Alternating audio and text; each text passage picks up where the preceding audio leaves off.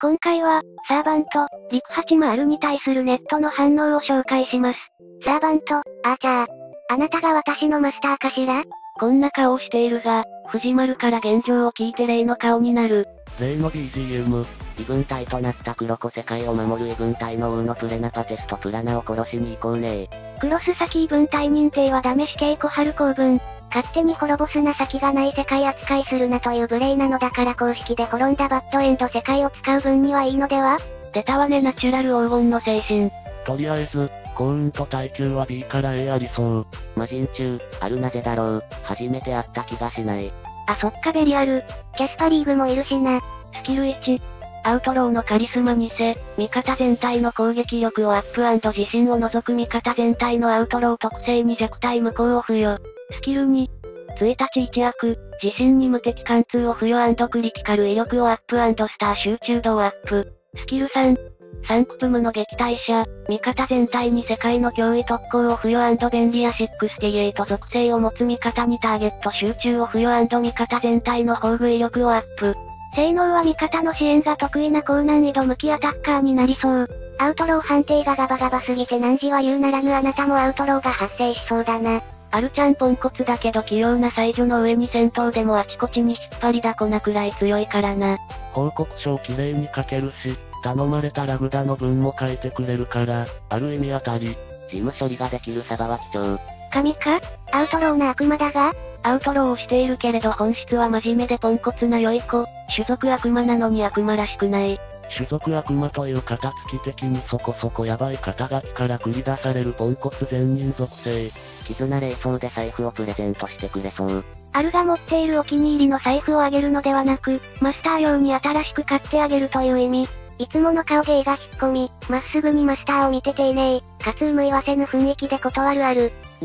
別にプロポーズでも何でもねえぞただ単に、めちゃくちゃ頑張った友達のために今度は自分が何かをプレゼントする側に回るだけよ多分藤丸の側も謎丸笑顔で喜ぶ。どうせアラインメントは全、難しいのは中立か混沌かだけじゃんね。中立全だと思う。というか混沌全の濃さについてこれるか？個人的には混沌、重要か中立、重要な気がする。アライメントは自己申告なので混沌、悪事象になってそう。実際は中立、全。あるえ異世界で一緒に麻雀してた女の子がここにもいるんですけど。ホームで呼び出される便利やメンバー。本人も強いヤソンかな？言うて便利屋で一番強いの多分アルちゃんだろうし、どっちかというとリチャードの支援択。単体の悪特攻宝具なんだろうなって確信。便利屋召喚なら全体で混乱とかチャージ源とか宝具封印とかつきそうだけど、アウトローいっぱいいるから参考にしてね。森脇教授に合わせてはいけない気がするが若い方ならいけるか？アラフクの本気の悪巧みを見抜けずに全く関係ない爆発事故を巻き起こして二人仲良くアンウェルカムスクールするよ。宝具 Unwelcome School 爆発落ちなんて最低か。この子のことよく知らないけどアウトローってんならロビンやビリーと仲良くやれそう。ちょっと無理かも。悪用に関してはポンコツで悪い方に舵を切らせるのは仲間じゃないとアホな方に転がるし。銃使いのアウトローだし、ビリーに憧れるアルちゃんはちょっと見てみたいな。アルちゃんを一言で表すならハーフボイルドだから憧れるだけであんまりアウトローとは合わないかも。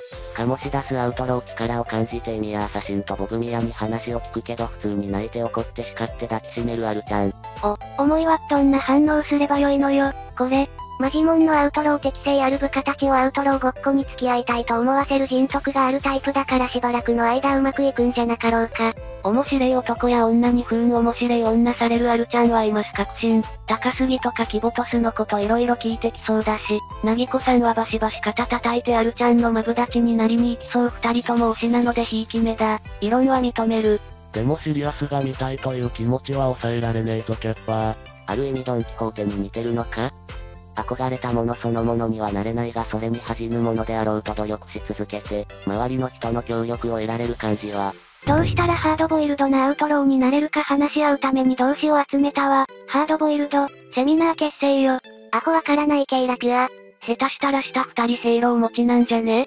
最終的に便利屋68カルデア支部になりそう。ポンコツ善人、中二病天然、うん、この圧倒的に向いてなさ感。この向いてなさが癖になるんだ。かっこいいドイツ語辞典などを持ち込んでキャッキャしてほしい。マシュとは仲良くやれそう。ワルワルと化したマシュ。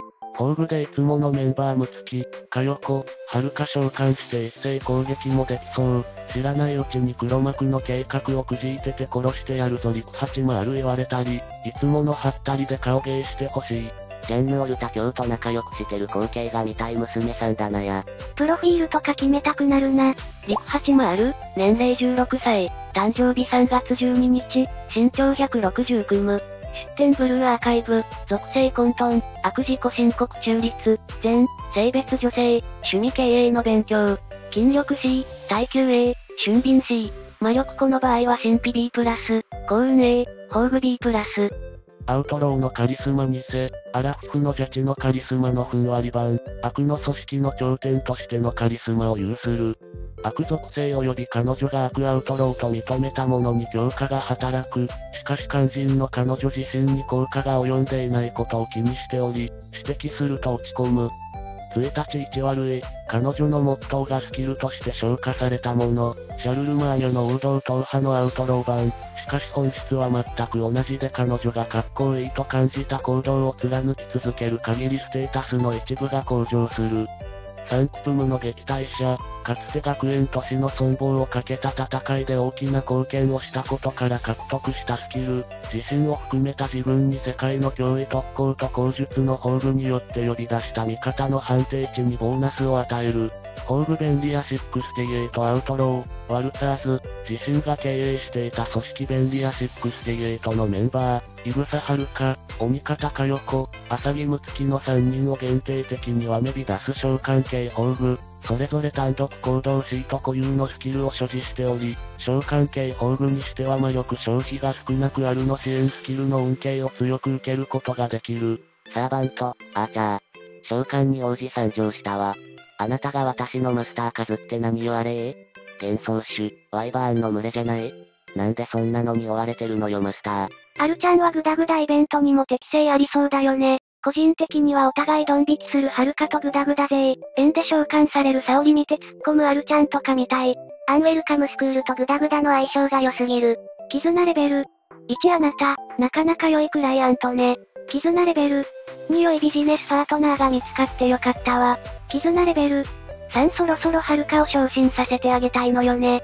あなた、平社員として便利屋に入社しない？絆レベル。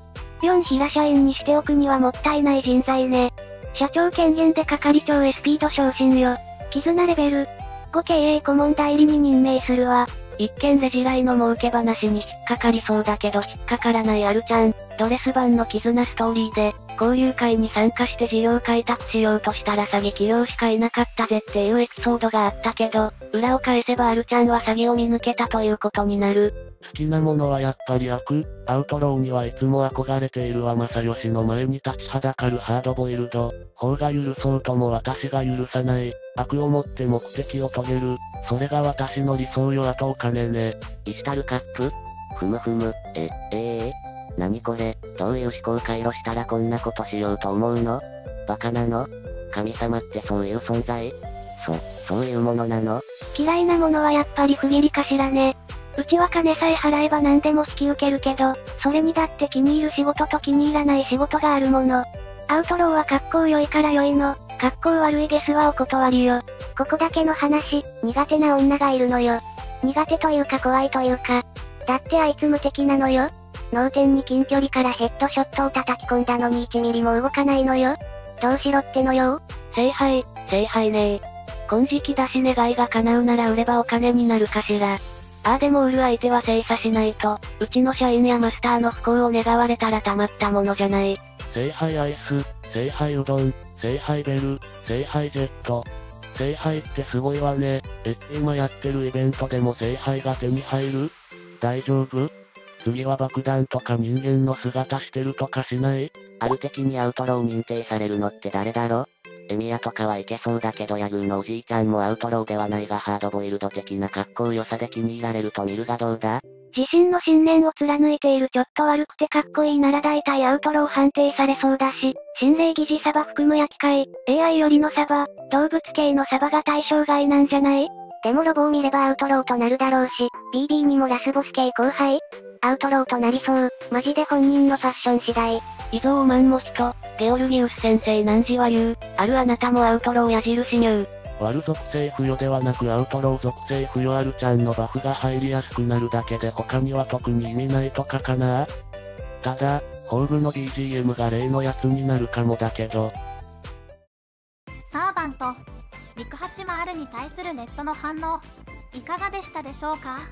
アウトロー判定の範囲が広すぎて草、アウトロー多すぎてあるちゃん喜びそう。それでは次の動画でお会いしましょう。ご視聴ありがとうございました。グッドボタンとチャンネル登録よろしくお願いします